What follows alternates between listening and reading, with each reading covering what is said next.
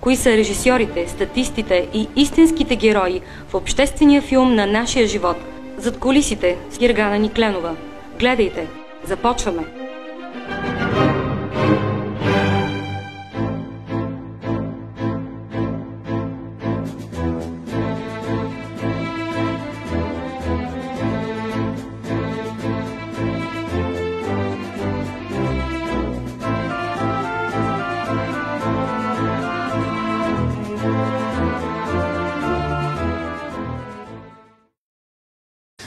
Защо перата първо с това да започне? Петър. Като бях 6-7 клас, като играехме матч, така си измислихме пракоре. Един а, лачезар си викахме лъзата, мен Петър от Петър, от там.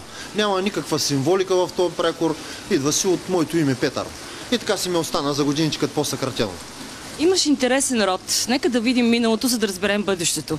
Можеш ли да разкажеш за дядо ти, прадядо ти? Значи, първо, прапрадядо ми е поп Георги Стоянов Джелебов. Той е, може да се каже, най-големият революционер в Бургаския окръг. Той е отровен от гърците по време на борбата за, за независима църква. Той е един от първите радетели в тази борба. Той е чел първи а, молитва без да спомене патриарха.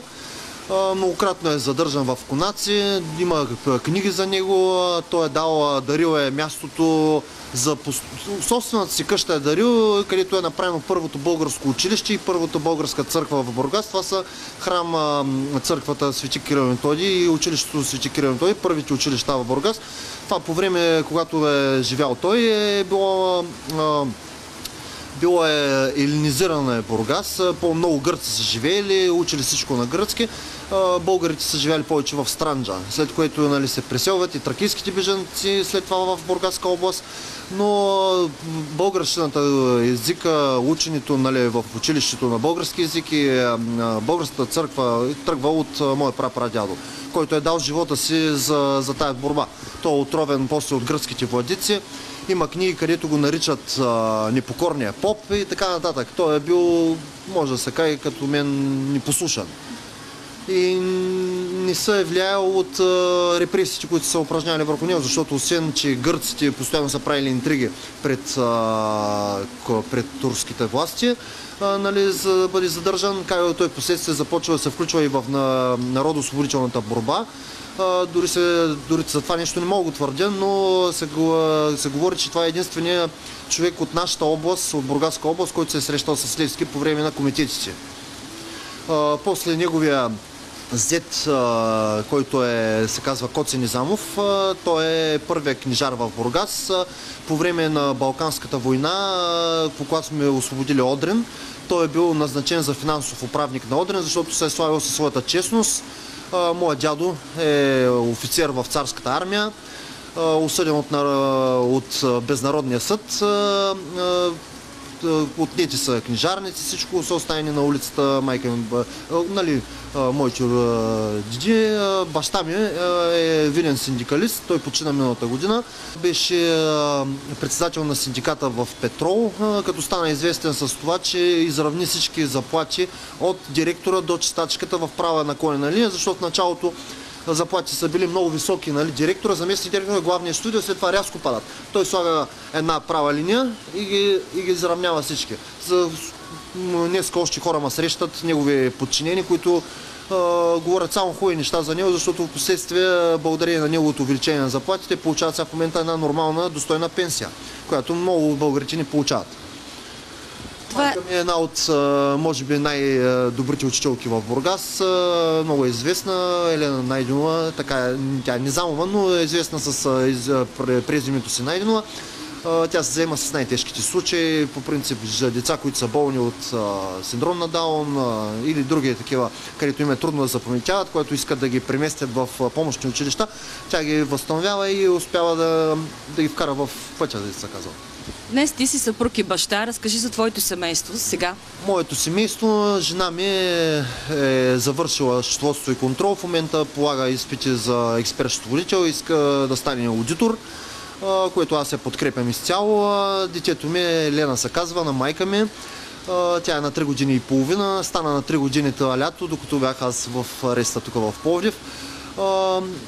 Мога да кажа, че имаме едно много приятно и щастливо семейство с едно много живо и а, жизнерадостно дете, което благодаря на, на, на този, който е горе, че ми го е дарил. Мисля, че за мен материалните неща са под духовните. А как, коментира, как гледа на това съпругата ти?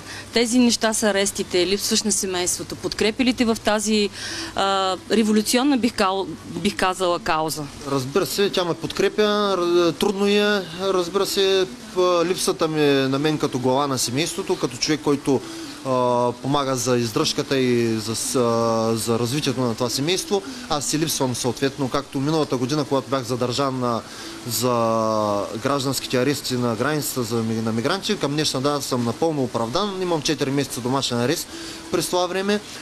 Бизнеса на семейния бизнес също много страда. Бяха ни блокирани няколко акаунти, които имаме от 7-8 години в B2B сайтове, докато бях тук в ареста поради невъзможност да отговорим на едни съобщения.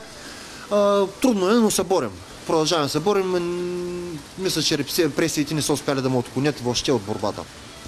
Частния бизнес имаш, казваш, защото много от хората и така в казионните медии не казват, че ти си изкарваш прехраната с честен труд и се опитват да те очернят това, че получаваш пари от разни други организации, от а, така други държави и така се издържаш. Да кажем, че ти имаш частен бизнес и той не е свързан с...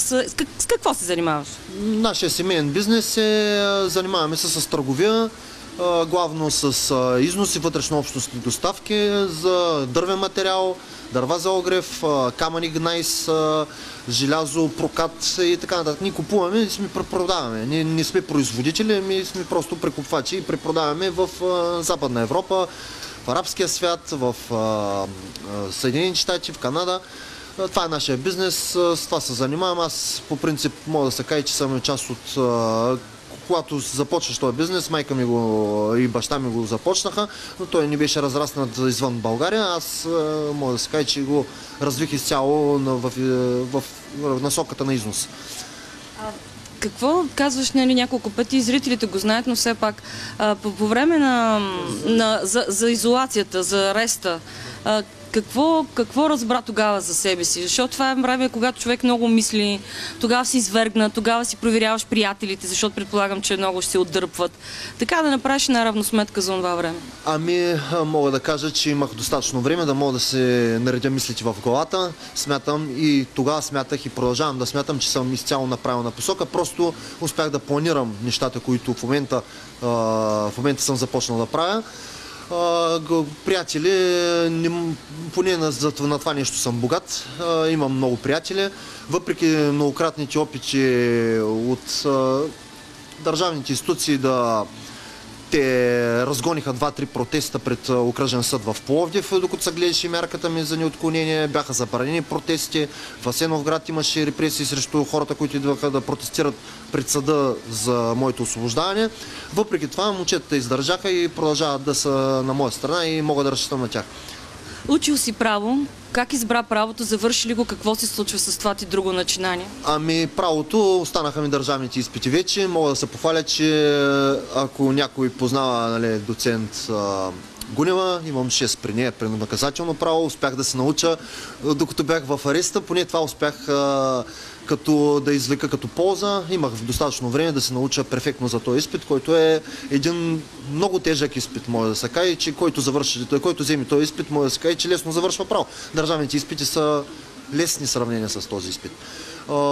Правото за мен е... Аз харесвам правото, защото то ти отваря очи. В началото бях започнал да уча фармация, но се отказах, защото не ми беше интересно.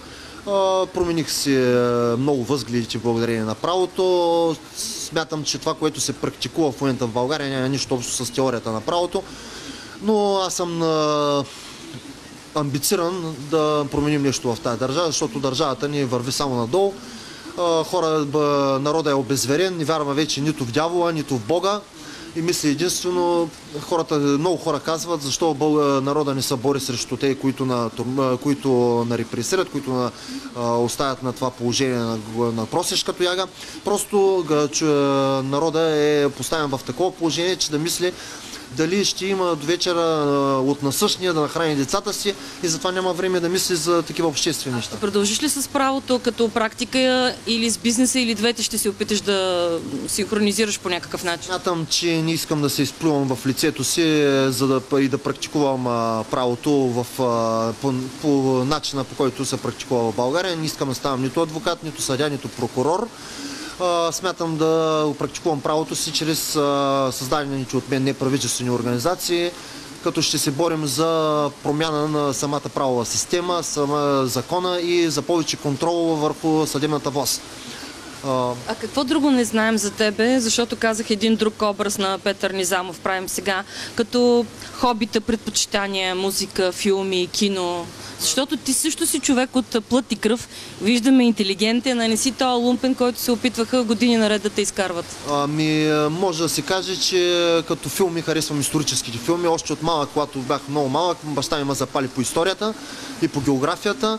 Като бях малък, той ме взимаше в неговата стая и по цял ден ми пускаше исторически филми, спираше на пауза, разказваше ми и ми запали интереса от тогава. Аз гледам постоянно исторически филми. Много ми са интересни филми за времето през, по време на комунистическия режим, за времето преди първата половина на 20 века, както и а, 19 век. Това са ми най-интересните също по политическите идеологии са ми голям, голям интерес, като смятам, че от всяка политическа идеология може да се извлече положителното, за да се постигне максималното и оптималното за, за нашия народ.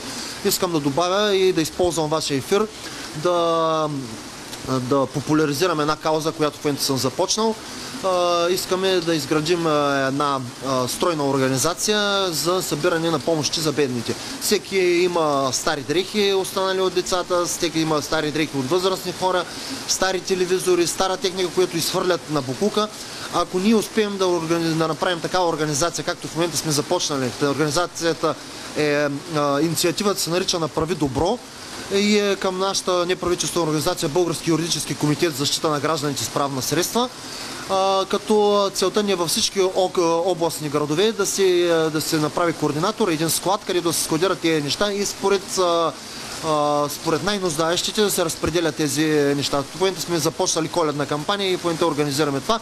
Това се занимаваме от години. Медиите не го показват, защото не им е, не им е изгодно, тъй като аз те ме смятат за враг. Особено BTV. BTV, когато миналата година помогнахме на една жена с три деца, които бяха отнети поради бедност от Сливен. Те бяха направили един репортаж, който нали, да покажат за какво е положението, но явно на следващия ден някой му стана неудобно от социалните работници и те се опитаха да им измият очите след това. На следващия ден издадоха статия, че имало щастлива развръзка, че са върнати децата, че са осигурили жилище, което беше абсолютна лъжа, след което ние направихме няколко интервюта с жената, показахме ги, популяризирахме ги в интернет.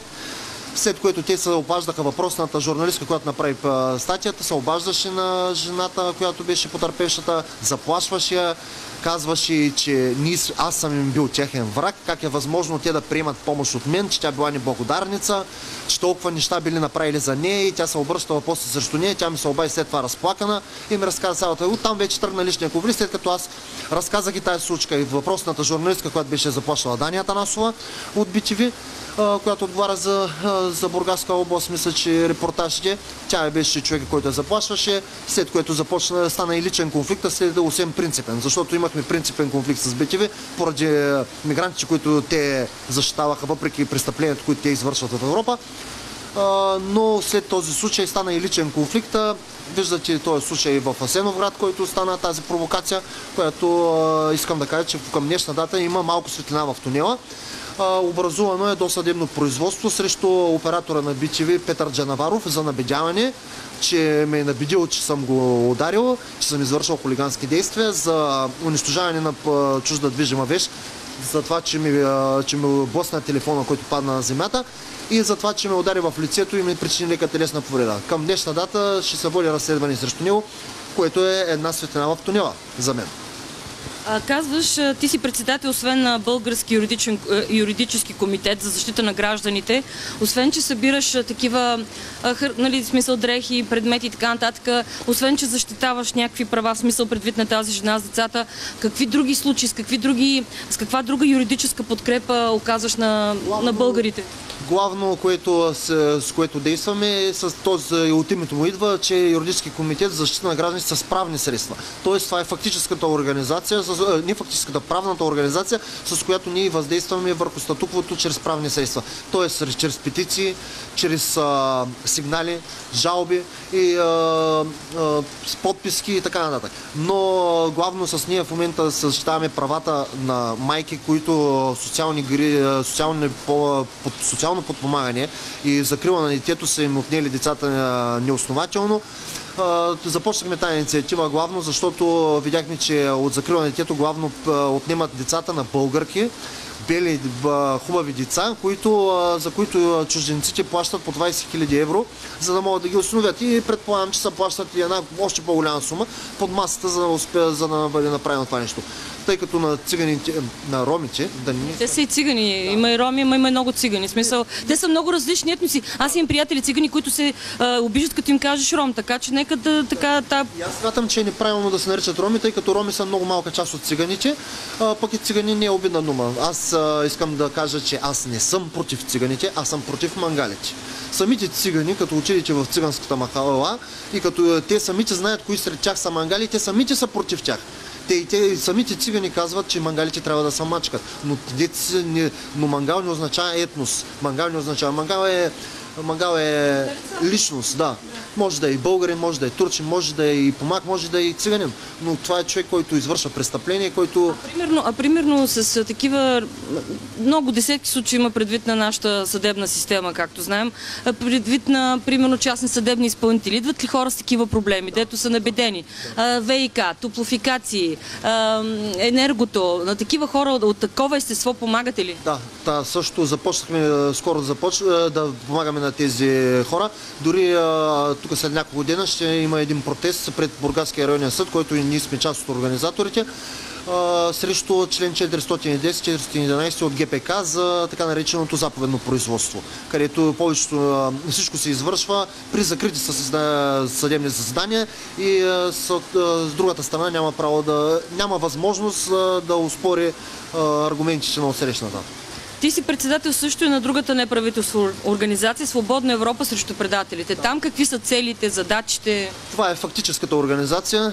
Както стана въпрос, Български юридически комитет е юридическата организация, с която действаме с правни средства. Това е фактическата организация, с която организираме протести, акции, граждански патрули, отряди на границата. Това е общо взето фактическата организация, която искаме да въздействаме чрез, главно чрез младите хора, не, не чрез правни средства, а чрез обществен отзвук главно.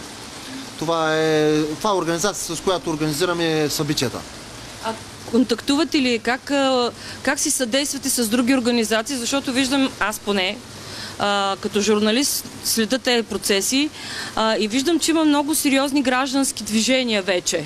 Нали, като започнем с Боец, Свободен народ, Воински съюз, момчетата идваха, правихме интервюта, не, не, БНО Шипка, квартал, в Пловив има такова движение, движение Възраждане.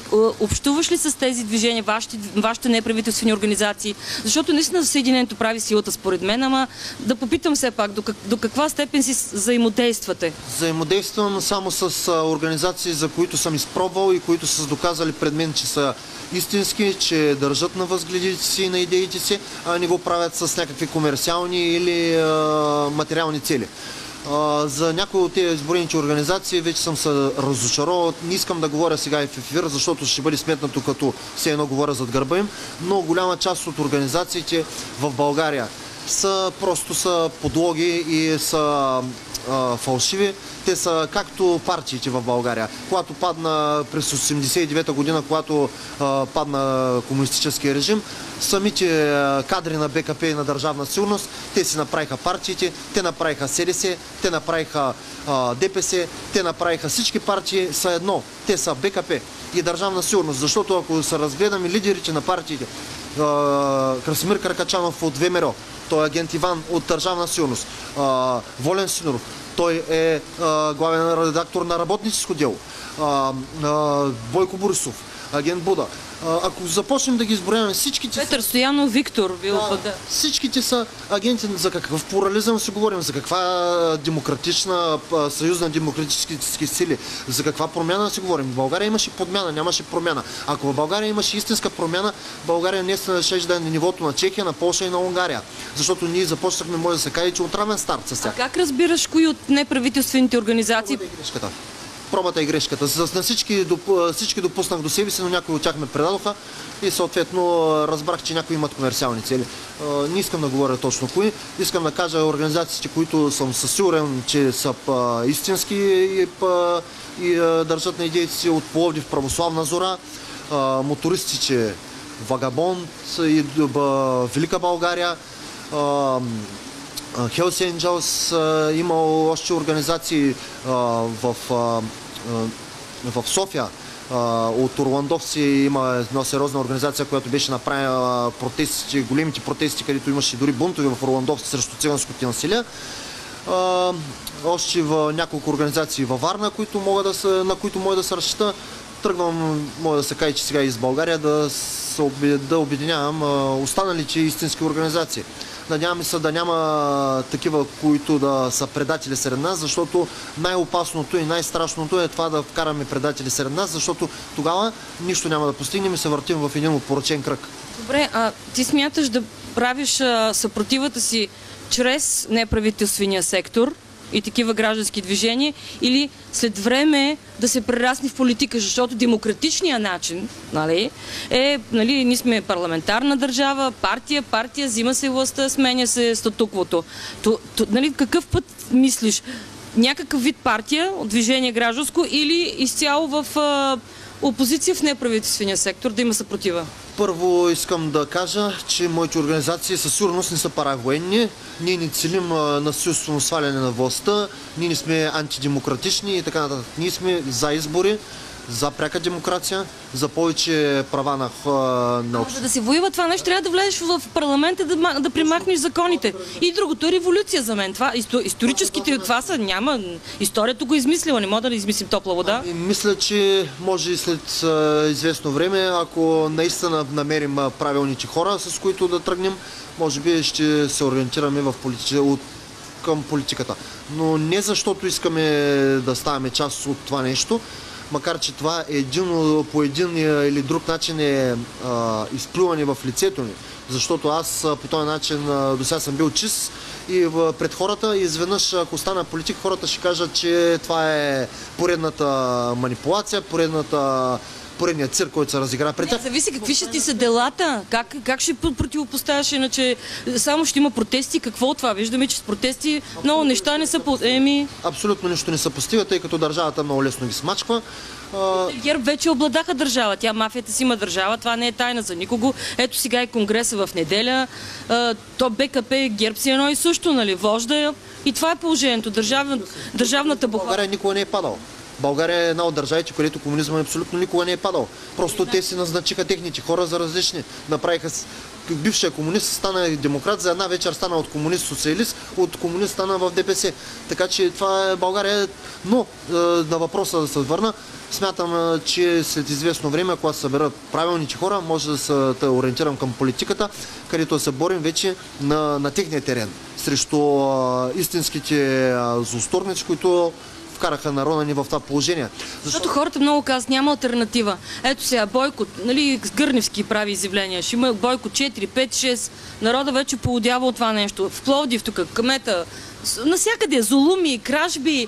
Обаче хората казват, кажи кой бе, няма альтернатива. Затова смятам, че ако направиш партия, защото нямаме и лидери, а ти си лидер, хората ще имат някаква альтернатива. Защото сега, за, нали, другата альтернатива в момента с днешна дата, която има претенция, това е Слави Трифонов, но някакси то от статуквото. Да, и аз така смятам, че в началото си мислех, че може би има нещо честно в него, но в последствие видях според действията му, че наистина може би това е един параван просто, който, който е, се използва от, от, и от Бойко Борисов, и от правителството да се откланят гласове, които в последствие да се влият в него, както стана и с Николай Бареков. Ако си спомняте с неговата партия, в момента в който влезе в парламента, те до тогава казаха, че Бойко е престъпник, трябва да бъде вкаран в затвора и така нататък. Дори по-силни думи се използваха, че трябва да бъде обесен и така нататък. Той влезе в парламента и на следващия ден те се отказаха и се вляскаха в ГЕРБ. Той че че може би Слави Петров е поредния, поредния човек, който обслужва интересите. Аз мога да гарантирам на моите поддръжници, че аз никога няма да кликна и никога няма да стана част от това статукво. Аз съм се борил, лежал съм за България, падал съм за България и ще ставам за България. Имаш ли, имаш ли подкрепа все още и какъв е интересът на международни а, такива общности, организации? Защото все пак в а, това, че сме в Европейския съюз до някъде е и някакъв плюс, защото някаква подкрепа все пак, защото ако го нямаше пак и Европейския съюз, може би съвсем вече щяха да... Може би щяхме да търсим някъде по полянки и по язовири. Да си жив и здрав, да. Ами, дори след една седмица имаме конгрес в Прага, където се събираме патриотичните организации от Полша, Унгария, Източна Германия, и Чехия и Словакия. А, Целта на това е да направим една обща европейска организация, вече да я формализираме. Миналата година март месец бях пак на среща на патриотичните организации пак в Прага, където се взе решението да бъде изготвена тази организация. Вече ще го формализираме и ще го институционализираме. Какви ще са целите? Та организация с какво, каква цел ще има? Борба с а, статуквото, борба с срещу предателите и а, за повече права на европейците в Европа. Да се слуша Суверенните, т.е. Европа на отечествата, на Европа на Дегол, не сега на неолибералните доктрини. А, да, точно така. Против мултикултурализма и за националните държави.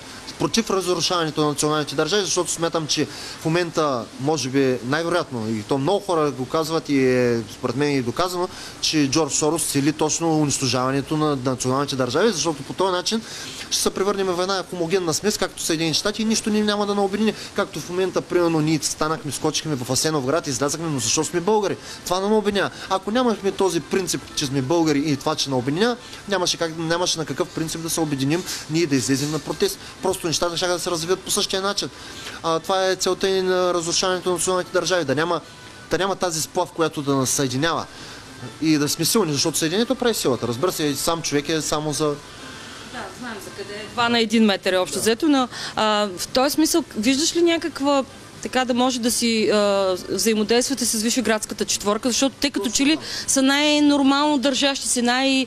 А, как да кажа, да, това е думата нормално, защото другото е самоубийство. Точно това е и основната ни, основната ни политическа, а, как да го кажа, политическа, а, да, а, насока.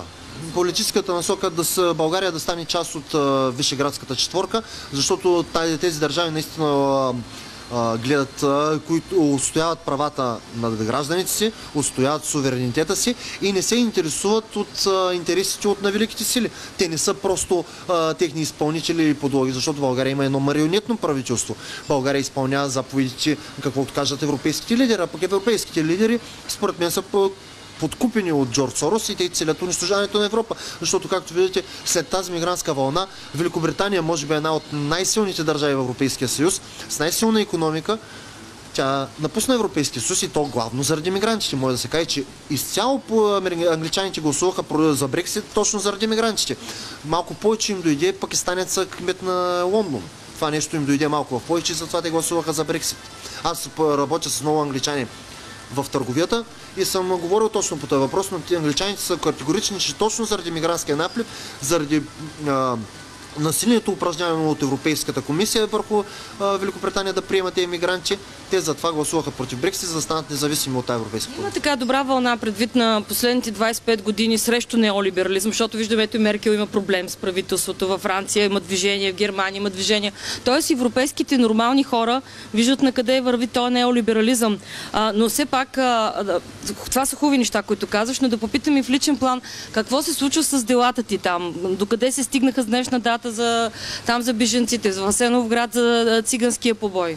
Първо за делото за свинските опашки, където ги задържахме мигрантите на границата, които нахуваха през турско-българската граница, които бях 4 месеца по домашен арест. Към днешна дата съм изцяло оправдан на, последна инстанция, т.е. оправдателната присъда е влязла вече в сила и никой не може да, да твърди, че аз съм извършил някакво престъпление. Искаш ли реабилитация по други начини? За набеждаване, за е, какво ли не? Ами, а, мислих а, да упражня правата си по закона за, дър... за отговорността на държавата за вреди. А, не защото искам да съдя собствената си държава. Плюс това ми смятам, че това нещо То да не съдиш тази държава, която е мащиха и си позволява репресии спрямо собствения, собствения народ. Според мен трябва да се съди до дупка. Защото ако се осъдя държавата, няма да накажа лицата, които бяха отговорни за това. Искам, аз ако един ден имам някаква власт, ще упражнявам правото на регрес на държавата срещу служителите, които са били виновни за нарушенията, защото държавата до сега нито един път не си е упражнила правото на. Бъл- Хората, а, българските граждани, които са репресирани, те осъждат България в Страсбург. България ги плаща от данъците на, на гражданите, които работят но държавата не упражнява правото си на регрес прямо от длъжностните лица, които са причинили тази вреда. И затова реално тях не им, не им пука. Тях не ги интересува това, че ти последствие ще бъдеш оправдан и а, ти последствие ще осъдиш държавата, защото това не бърка в техния джоб. Те изпълняват поръчката от, от а, правителството, те имат гаранция, че към тях няма да бъде упражнена никаква... Да, ама ти, предвид на цялата тази организация, на теб ти трябват средства, пътуване, срещи, разговори, може би тия пари да ги вложиш в това. Аз не казвам да си купиш а, джип, те да знам, примерно. Точно за това, точно това тръгна да казвам, че най-вероятно ще упражня тези права, точно за да ги вложа в а, тези организации, да, като а, тези пари ще отидат главно за благотворителност, за организирането на всички акции и инициативи, които, които организираме. И те са главно благотворителни. Главно благотворителни и срещу а, статуквото. А, така, последно време много скандали пак около оградата, Великата ограда.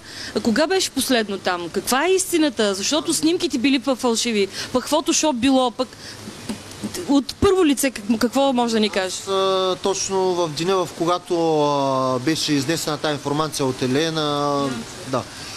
Аз, аз, аз постоянно ходим почти на границата за, за лаяне на мигранти. Вече не правим клипове, защото си изпатихме. Да, но аз същия ден публикувах клип, в който показах, че наистина ограда няма. Има места, където няма ограда. Снимах река Резовска, точно на българо-турската граница при село Бродилово, където ограда нямаше. И може да бъде намерен клипа ми на моя, моята фейсбук страница и моя фейсбук профил, където е публикувано и се вижда, че на самата граница, на река Резовска, която е, може да се каже, че е дълбока до кръста ми сега из есента, лятото присъхва, стига до коляно. Това е единствената преграда между България, между Турция и Европейския съюз. И мигрантите напълно спокойно могат да се влизат. Тъй, че този клип може да бъде гледан и се вижда, че аз стигам до самата река и там няма ограда. Тоест оградата е направена избирателно след реката, а тази река е много лесно за преминание. Да. Тоест, тук не може да се говори при тебе, че, нали, айде, ако Елена Йончева е обвинена, че политическа заигравка, защото тя е била от БСП, пак, нали, ГЕРБ... Но спомняте ли си лятото въпросния Валери Симеонов, който изгради оградата, че хванаха неговия главен координатор да прекарва мигранти то с коли, които наподобяват на НСО. И в момента, в който полицията се е опитала да ги спре на стоп палка, те са подали звуков и светлинен сигнал с очакване да ги бъдат пропуснати като автомобили на НСО, но тогава е имало информация, че т.е. те са го правили многократно това нещо. И за мен а, няма абсолютно никакво съмнение, че Валерий Симеонов е замесен в това, защото съм сигурен, че неговата координаторка със сигурност няма да прави нещо своеволно. И още повече, че поведението на лидерите на така наречените патриоти след задържането на а, въпросната координаторка, те казаха, че шали да изчакат решението на съда, че тогава да се произнесат по това нещо. Аз, ако съм патриот, в момента, в който заловят моя координатор да прикарва мигранти, ще първото нещо, което ще направя е да се разгранича и нещо повече. В тя самата тя си призна, тя не е осъдена. Тя не е осъдена от съда. Тя си признава и изключва споразумение, че тя е прикарвала мигранти. че в началото каза, не, това е клевета, и после каза, да, бе, да, ми, да, аз съм виновна. И освен това, че и патриотите и пригласяха. Те казаха, че не, били, не било доказано престъплението. Инстинкта на бандата сега, нали? Трябва да се защити. Аз смятам, че те в момента действат точно като една организирана престъпна група, която се защитава техния член, а не като една патриотична организация, която действа за някакви идеали и каузи. Защото не може да си патриот и да прикарваш мигранти. Няма как да си. Ти трябва да си неолибералист, мултикултуралист, ако прикарваш мигранти. А, кое е според тебе най-голямото зло в България? Те са много зло, много са зелените, ама как най- за тебе най-голямото или с кое нещо трябва да се почне, за да се поч... почне да се чисти къщата? апатията. Апатията на народа. А, а, на първо място може да кажа, че а, народа ни е обезглавен, защото изгуби интелигенцията си. Първо, че интелигенцията беше обезглавена след 1944 година. А, след това интелигенцията, която е на новото време, след 1989 година, всичките са пропъдени от България и работят в Западна Европа. Ние с ходя, разхождам се и с университети, имам приятели, познати, Приятно ми е, когато отивам сред университет, виждам толкова млади хора, но става лошо, става ми много болно, като знам, че след няколко години тези, хора, тези млади хора, тази интелигенция, тази, тази мозъка на нацията, главата на нацията, защото ако отрежеш, у- вземеш интелигенцията на нацията, остава едно тяло, което обикаля, което върви без глава. Тези хора ще отидат да работят на Запад, защото никакви условия, никакви възможности за развитие не са им дадени тук. Аз смятам, че България трябва да се развива в високите технологии, да създават марки, да създават продукти, които да бъдат, а, както в Чехия има примерно Шкода. България няма никаква марка. на- И те разбиха економиката, смисъл, да, няма. да. Но смятам, че а, високите технологии, ние, най-важното, което е за едни високи технологии, кадрите, ние ги притежаваме тук в България и ги изнасяме за, без- а, за жълти стотинки. Ако ние осигурим работа и марки и, високите, и производство на високи технологии в България, в България, може би голяма част от младите ще останат в България за да се развиват. А, така, това ти си така, вижда се енергичен човек си, обаче какво ти коства това нещо? Това, когато си бил нали, в ареста, размисъл, нали, има плюсови, казваш, подготвих се за изпита. Обаче чисто в така, като си направиш наравно сметка, с съпругата си като говориш, като си виждаш детенцето, а, какво ти коства, каква цена плащаш? Ами, лято 2016 и лято 2017 са ми взети от сега. Като, като за начало да започнем, нали, ако гледаме от материална гледна точка.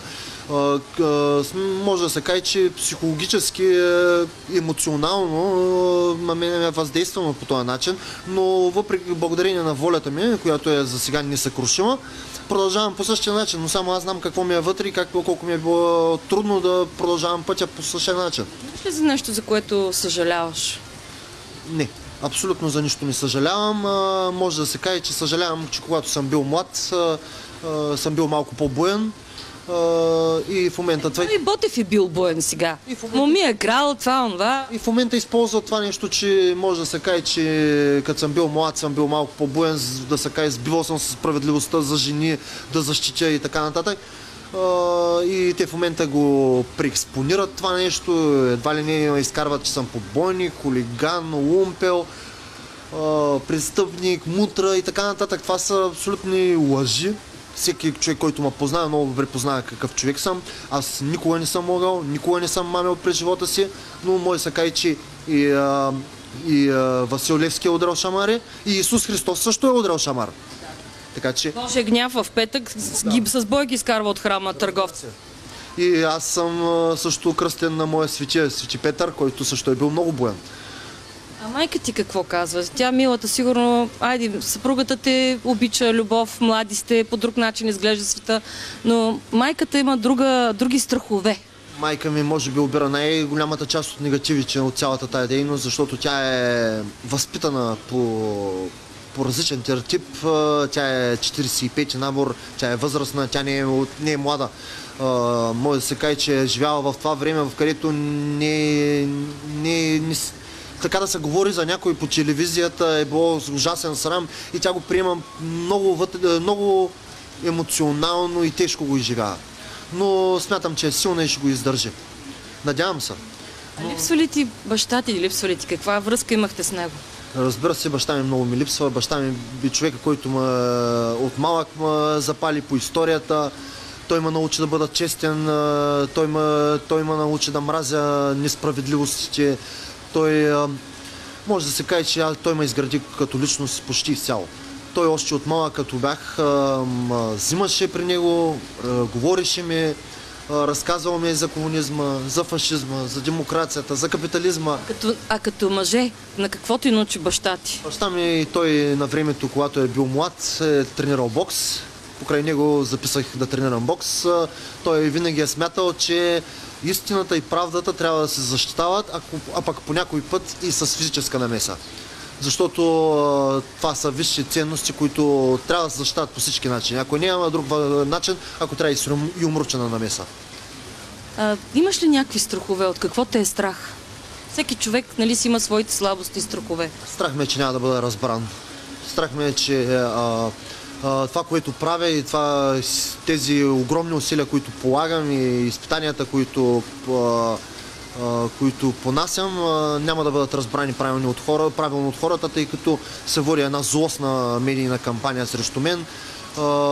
Едно медийно затъмнение за всичките добри неща, които правим и при експониране на абсолютно всякаква, всички възможни лъжи бяха изляти тонови помия срещу мен. Но смятам, че умните, интелигентните хора смят, виждат, че аз съм искрен, защото най-малкото, ако бях фалшив, ако бях а, подлога на някой, тези хора... Сега щеш да лъсни, щеш да се има разочарование. Тези хора никога не лежат по арестите. Може би за това а, така системата си тук иска да те смачка, защото хората в теб могат да препознаят автентичен лидер. А нали точно ти казваш най-голямото зло апатията. Нали, защото казват ми няма кой бе Бойко, няма кой бе Бойко, това е. И да, и това го има. Смятам, че точно заради това го правят и те не го правят нали, по сам, това е просто диктувано от правителството. Не страхуваш, че могат да те застрелят нещо? Ами смятам, че това е следващата стъпка. При положение, че два пъти вече се опитват да ми скълъпат а, политически фалшиви процеси, а, цирк. За мен е един цирк, се разиграва едни, а, едни роли, а, един предварително разигран театър. А, и втори път а, това нещо не се получва, защото а, злостната медийна кампания за Сеновградския случай въпреки всичко излезе записа, в който се вижда и може да се каже, че една голяма част от България го е гледала този запис и знае, че аз съм невинен. Втори път те се излагат, защото първия път с свинските опашки бях задържан и към днешна дата оправдам.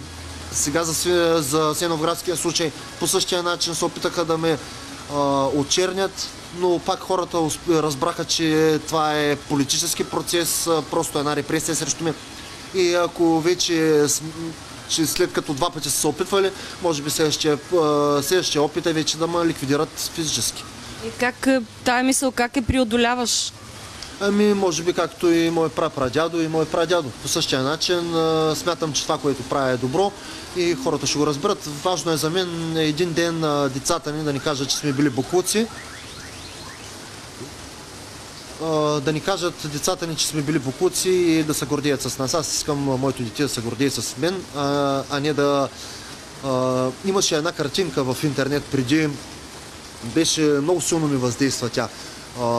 Имаше на една...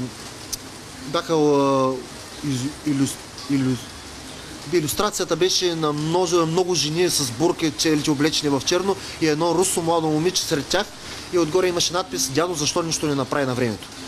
И тази, може би тази картинка силно ми въздейства и смятам, че това нещо, което правя е правилно. И един ден децата, ще ми са, децата ми ще се гордеят с мен, както мой прапрадядо, въпреки че е напуснал живота си преждевременно. Е, сега съм изключително горд, че съм негов наследник. Кръвта ти тече така неговите, неговите каузи, неговата повеля за българщина, за родина, за род. Каква е твоята мечта в български план, българската ти мечта и личната ти мечта? българската мечта е да живеем в едно чисто и свято отечество, такова за което Васил Левски си е дал живота смята първо, на първо място трябва да привлечем интелигенцията, която изгубихме, защото аз съм говорил с много българи в чужбина. Те а, казват, че са, може да се каже, че те са по-големи националисти от българите, които живеем в България. Те искат да се завърнат в България. Те изпитват огромна носталгия към България, но техните думи са какво ще правим в България? Ние пращаме, ние издържаме семействата си от тук, защото те а, работят и изпращат пари в България. И това е факт, че българската економика, голяма част от економиката ни се се Те статисти, националните статистики казват най-голям инвеститор в кавички са мигрантите, които дават пари тук на а, роднините си. те нямат избор да се върнат. За мен основното нещо е ние да ги привлечем, да им дадем възможност за развитие, за да можем да ги привлечем обратно. Защото а, сме като нацията ни се обикаля като тяло без глава и само като кокошка, като удариш главата, почва да пърка с крила.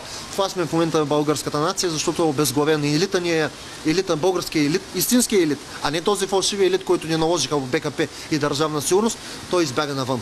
Той в момента работи за чужди компании, за жълти стотинки и е изпъден по тежката чужбина и на горбет. Това е основното и най-важно нещо. Другото нещо е да не допуснем България да се превърне в бежански лагер, защото това нещо би вече заличило нацията ни при тази демографска криза и при тази ниска раждаемост. Една от другите цели е стимулиране на, на раждаемостта на българките, но трябва да се формулира правилно това нещо, за да не се каже, че има дискриминация спрямо ромите, срещу циганите. Като може да се формулира, че всяка жена, която ражда под 18 годишна възраст, загуби правото си да получава социални помощи. По този начин не, не го обръщаме на етнически принцип а, а, социалното подпомагане за децата и майките, а на принцип на... на... То при циганите няма на практика демографска криза. То при българския етнос има демографска криза. И то катастрофа. Така че Ние се смаляваме изцяло, но тъй като ще сме част от Европейския съюз и ще бъдат налагани огромни санкции, ако ние, изна... ние изнесем закон, в който казваме, че българския етнос ще бъде стимулиран, а циганския няма, може да го направим така, че който ражда под 18 години, българите не раждат, не раждат под 18 години, а пък циганите, които раждат под 18 години, губят под животно правото си на социални помощи. И по този начин най-малкото и ще спреме тази практика на превръщането на децата в банкомати, защото циганите раждат деца, за да те, те са реално деца банкомати. Те раждат ги и получават една дебетна карта, която теглят помощи и те го правят точно заради това. Което... не е от който иде баницата, от е който е дава. И т.е. в България конфликта не е етнически, а е социален, той е економически. Българите не са срещу циганите. Ако си работи, ако си учи, ако си спазва, си плаща данъците, никакъв проблем нито с турци, нито с цигани. Но тук е, статуквото, те наречените випови лидери правят така да, да се е, ни разделят на този принцип, защото нямат справедливост, няма честност. За турците искам да кажа нещо, че турците а, не се по- поддават на тая пропаганда, която се, циганите лесно се. А, турците познават исляма, той техният ислям е миролюбив. Те са българските турци, които по-голяма част от тях са помаци, някои с, с турско самосъзнание, други с българско самосъзнание, но всъщност те са мусулмани. Те са против Ердоган, те са против Турция, те не искат да са част от турската държава. Така че а, тях не можем да ги приемаме по същия начин, както циганите. А, те са част от нашето общество и е грешно да ги отделяме от нашето общество, тъй като те са и по-голяма част от тях са работливи, интелигентни, добри, ни крадат, ни изнасилват. А, ромите, те са бедни, ниско образовани, тях, при тях лесно срещу а, лесно, биха, е, лесно са манипулируеми. А, В момента в а, Пазарджик, в Асеновград се а, практикува една ислямска секта, крайна ислямска секта, норджийството. В Пазарджик беше кадърджийството, мисля, че беше в а, Пазарджик, което е още по-радикална секта и това в момента се проповяда главно на цигани. Защото турците не се подават на тази манипулация и на тази пропаганда, а циганите срещу 100 долара или 100 евро, които получават на, на седмица, не ядат ме, свинско месо, слагат а, бурки на жена, на жена си на главата, носят бърди. Това нещо го правят за пари. И след едно-две поколения, тъй като тяхното поколение се завърта бързо на 10-12 години, те раждат рано, може да очакваме и атентати тук. Колко е, няма да е много трудно да бъде промит мозъка на някой циганин, да бъде опасан с бомби и да прави някой атентат. Някой път не ти ли омръзва или как да не ти ли става тежко и да кажеш на жена, отиваме, ще се борим отвънка, смисъл да напуснеш държавата. Не, никога не съм го мислил това и смятам, че това е моята родина и трябва да умра тук. И, макар, че аз дейностите, дейностите си ги развивам и извън да България. Но моето място е тук, всеки камък тежи на мястото си. И смятам, че наше задължение и наша отговорност е да променим нещо в държавата, в която живеем и за държавата, за която нашите деди са дали милиони жертви и тонове кръв. Мисля, че това е добър завърших. Ти да искаш да кажеш нещо на зрителите, не знам, може да си очаквал някакъв въпрос, а не съм ти го задала. Ами, искам да им кажа на зрителите да се държат здраво и а, искам отново да кажа за тази нашата а, инициатива Направи добро. Търсим а, координатори във всички градове, като приемаме, а, складираме стари детски дрехи, стари дрехи за възрастни, стари телевизори, а, храни а, като буркани, консервирани, консерви, а, също лекарства от първа необходимост, като аспирин, аналагин, парацетамол, прахчета, които ще бъдат склонирани и разпределени за най-нуждаещи се в тази наша коледна кампания. Всеки може да се включи, така е, може да намери информация в, на мой профил Петър Константинов Незамов или на моята страница Петър Незамов във Facebook. Там е, всеки ден се, се публикуват информация за нашата инициатива и се надявам максимално хора, максимален брой граждани да се включат в тази инициатива, защото всеки знае, че има стари дрехи, всеки може да даде нещо да допринесе, ако трябва и с транспорт, по някакъв начин, какъвто и да е, за да помогнем на множеството бедни и бездомни хора, които са изоставени от нашата държава и са бежанци в собствената си държава.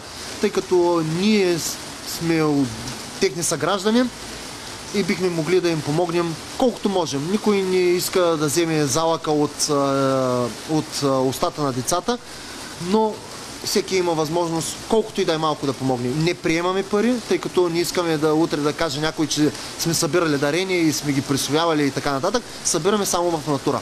Така че и ако има някой а, с а, добри организационни способности, както и с опит в а, благотворителни дейности, може да стане наш координатор в Пловдив. Да живее България! Да живее България и смърт за предателите!